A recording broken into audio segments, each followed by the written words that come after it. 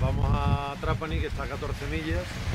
Eh, vamos con 30 nudos, eh, solamente con la trinqueta, ya que el enrollador de Génova lo tenemos un poquito de un problemita y no quiero forzarlo con viento. Nos sirve para enrollar, pero no para llevar la vela a medio funcionamiento.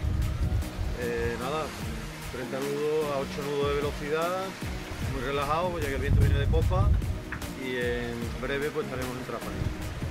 Vale, pues nada, hoy más que nunca, ¿verdad? Viento en popa Y a toda vela. y a toda vela.